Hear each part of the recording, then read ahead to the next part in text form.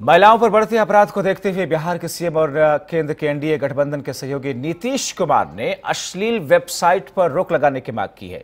एक मंच से उन्होंने कहा कि ऐसी वेबसाइट पर पूरी तरीके से प्रतिबंध होना चाहिए क्योंकि इससे मानसिकता बिगड़ती है। आजकल हमारे युवा पीढ़ी के लोग हैं, बहने हैं, हमारे भाई हैं, सब आप लोग बैठे हुए जान लीजिए। आजकल एक बहुत गंदा काम।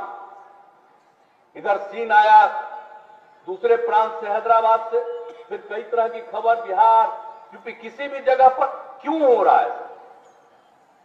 एक खराब स्थिति आई है और वो खराब स्थिति आई है, और उसमें जान लीजिए कि जो हम बराबर बोल देते हैं ना इस सोशल मीडिया वगैरह, उसका एक अच्छा काम भी है। जो टेक्नोलॉजी आई है, उसका लाभ भी है। लेकिन उसका कुछ लोग दुरुपयोग करते और गंदा काम करते हैं। इसलिए आपको जान लीजिए पोर्न साइट एक पोर्न साइट चलता और उस पर क्या करता है? पता चला है कि यही सब गलत काम लड़कियों के साथ जो गलत काम करते हैं उसको वैसी चीज़ों पर एक लगा देते खड़ा रख, देता है ताकि लोग देख लेता।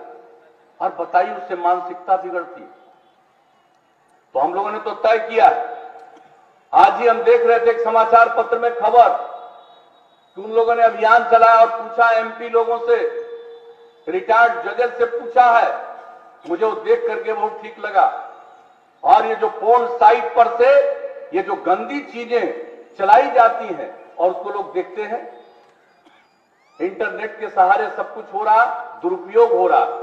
तो हम लोगों ने तय कर लिया कि भाई, हम लोग केंद्र सरकार को भी लिखने वाले हैं कि भाई पोर्न साइट पर जो इसका असर युवाओं पर गलत पड़ रहा है, उसको रोक लगवा दीजिए।